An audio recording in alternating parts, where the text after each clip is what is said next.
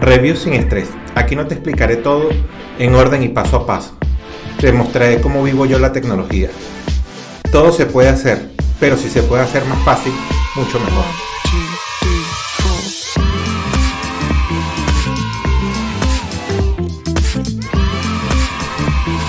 Bueno, bienvenidos nuevamente a Manos y Máquinas entre Video. Hoy vamos a volver a hablar de una distribución que mencioné recientemente que es Gecko. Pero última vez la versión que descargué y que probé era la versión Verbom, que es como la versión reducida, que me pareció ideal para, para un servidor, eh, una máquina de bajos recursos en que quieras una base para montar lo que necesitas. Mientras que ahorita bajé Gecko en su versión Rolling Release para XFC. Tienen también unas versiones que eh, esto sería con base Twimble mientras que las, eh, las otras bases que ellos tienen son también de OpenSUSE, pero con base de lib. Me pareció interesante bajar la, base Rolling Release porque mucha gente lo que quiere es una base sobre la cual trabajar continuo. Vamos a ver. Esto es, eh, tiene como base OpenSUSE, kernel 5.7.9-1. Este escritorio ya es XFC la instalación completa, miren, está ocupando 5 GB de todo el disco duro. Y bueno, el i3-3250 de dos núcleos y 4 hilos a 3.5 GHz con la gráfica Juniper. Y levantó con 661 megas. Eh, después de la 4.14, eh, yo he visto que XFC tiende a levantar últimamente con un poco más. Sin embargo, bueno, habrá que ver en el tiempo. Eh, como vemos, bueno, el uso, estamos grabando ahorita a 60 cuadros por segundo, 60 frames por segundo. Y el uso del procesador se, se siente el, normal. Inclusive está un poco contenido, no... Sí, está bastante contenido el uso, no, no es un uso excesivo. Si probamos, como siempre, eh, para navegar, tenemos a eh, Mozilla. Una navegación normal, lo, coherente. Y vemos, por lo que veo, eh, parece que nos mandes a la wiki de, de OpenSUSE como base, lo cual da a entender que poder utilizar, aparte de ellas, los repositorios de, de package de la, de la página de OpenSUSE. Que vamos a ver.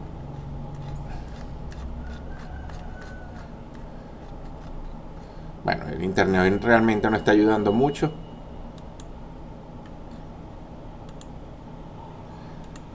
Vamos a, comenzar a probar por acá. Ok.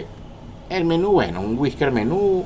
Eh, los iconos por defecto. No, no tiene un retoque gráfico así mayor. Eh, una vez instalada,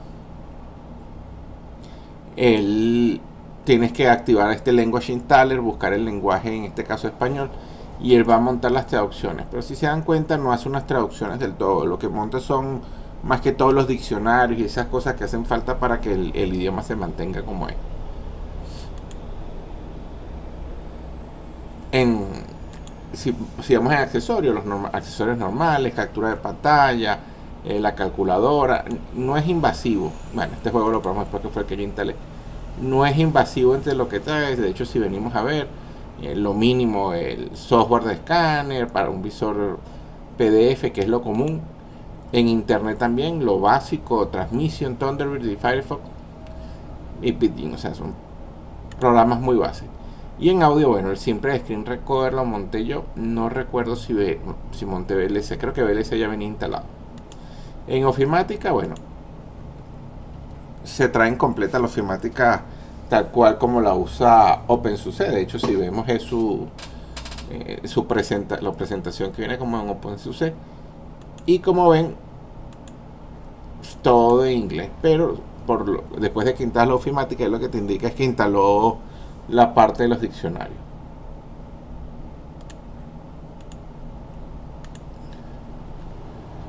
Okay. Uno de los datos curiosos es que ya OpenSUSE está trabajando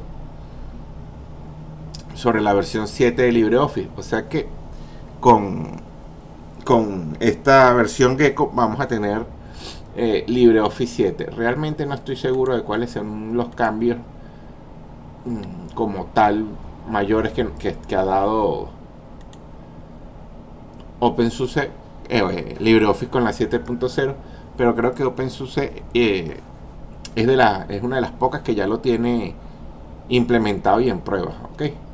Así que, eh, por lo menos en Twinbet, si alguien ya quiere ver qué es lo que hay de nuevo en LibreOffice 7, le va, una de las alternativas es montarse, eh, si es para prueba, OpenSUSE o como en este caso Gecko. Eh, la ventaja de, mm, en Gecko lo que pueden es buscar los escritorios más livianos si es una máquina poco potente. Aunque en su escritorio Plasma realmente no, eh, sí, el problema con eh, es que Plasma, si bien en sus implementaciones puede a veces gastar un poco menos de RAM, si tienes todos los efectos activados y todo lo demás, el uso del procesador puede ser mayor. Si, si tiene poco, si el procesador es un Core 2, yo creo que un Core 2, un, un procesador muy viejo, no estos Celeron de baja frecuencia, eh, si bien puede andar bien, hay que comenzar a desactivar funciones muchas veces. Y si no quieren tocar mucho y lo que quieren es probar, puede ser XFC, está Cinnamon, eh, el, eh, Gecko migró casi todos los escritorios. Ok. De hecho, vamos a ver si por aquí conseguimos el, la página de Gecko.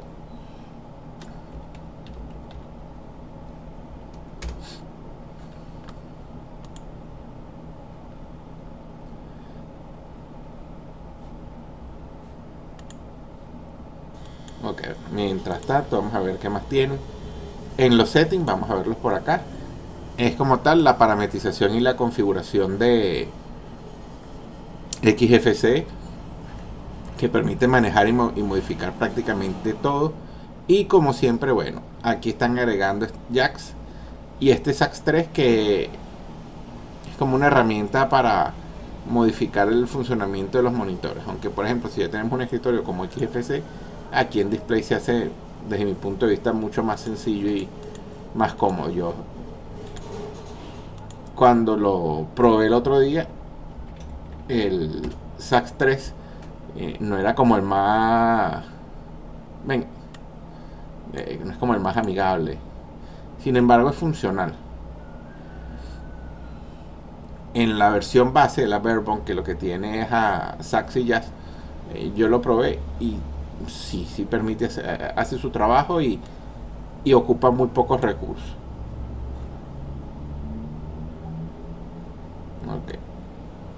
Del resto, bueno, lo normal, espacios de trabajo, eh, la parte de apariencia, que como vieron, lo básico.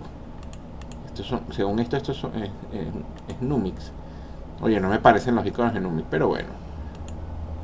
Ah, no, son estos los iconos elementales XFC. Vamos a ver y son los que trae. Si alguien quiere algún icono aparte, le toca instalarlo. Eh, tipo de letra, Ubuntu regular, hack regular. Y bueno. El panel, que bueno, en este caso está configurado hacia abajo.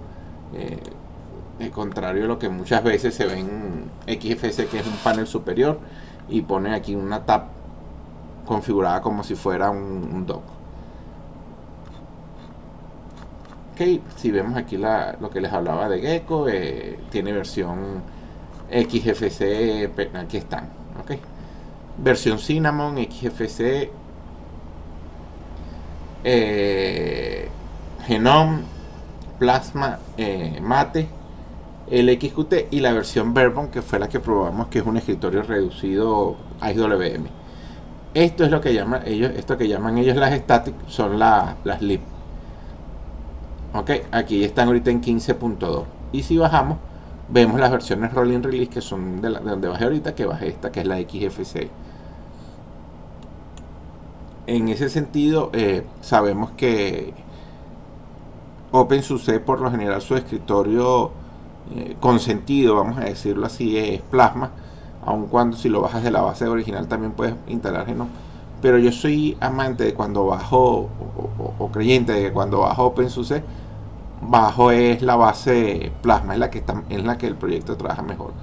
Por eso en este proyecto Gecko, en que están terminando o tratando de mejorar la pulitura en los demás escritorios, me parece bien. Si bien tiene también la versión Plasma, me pareció que de por sí ya OpenSUSE en su versión original tiene Plasma muy bien cubierto, muy bien optimizado.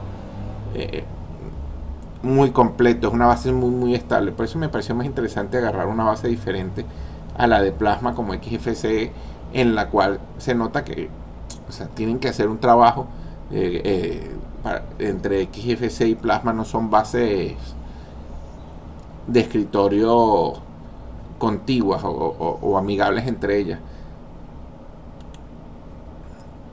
Ok. Y miren, por ejemplo, este era, la versión eh, Por lo, por lo visto, sí funciona bien el la reproducción en internet sin ningún problema.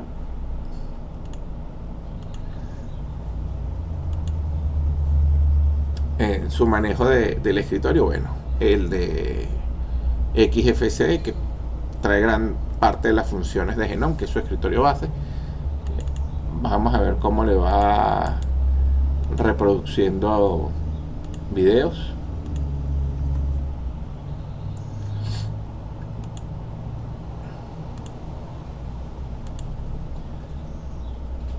Esa es una de las cosas cómodas en Gecko contra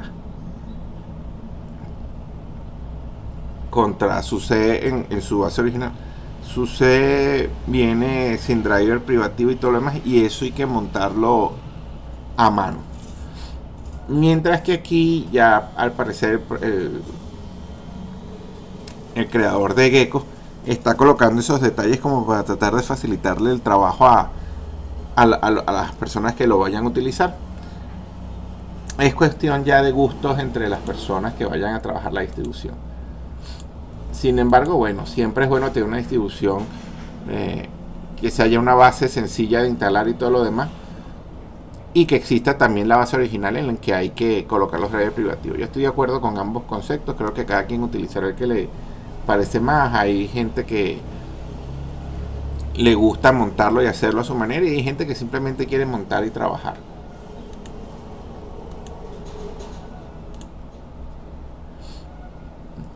Como vemos sin problema en la reproducción de video. De hecho vamos a hacer una cosa aquí.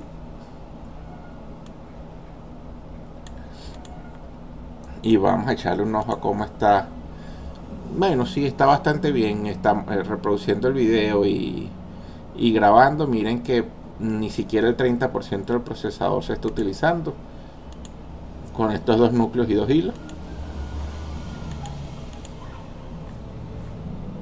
si algo me hubiera gustado, en todo caso, hubiera sido que la distribución tuviera una mejor traducción a nivel de menú. Sin embargo, me imagino que eso lo podrán ir haciendo con el tiempo.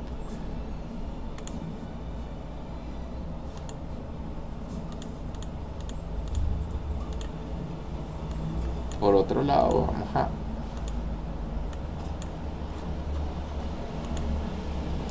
Ok, vamos a ver un poco jazz.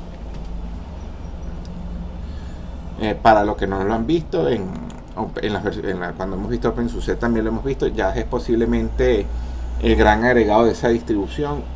Y desde aquí se puede manejar prácticamente todo lo que es instalación y todo y todo lo que es configuración eh, software hardware eh, los servicios. Si quiero montar un mail server si quiero configurar el proxy la parte de usuarios y seguridad el firewall, cómo quiero manejar sudo o configurarlo para su, para su manejo, este, creación y eliminación de usuarios, la parte, bueno, hardware se me olvidó, que es donde está todo lo, la parte impresora, vamos a ver la información de hardware como tal. Lo otro que, bueno, ahorita lo vamos a esperar que termine de abrir acá, porque por ejemplo a mí el particionamiento de OpenSUSE siempre me ha gustado.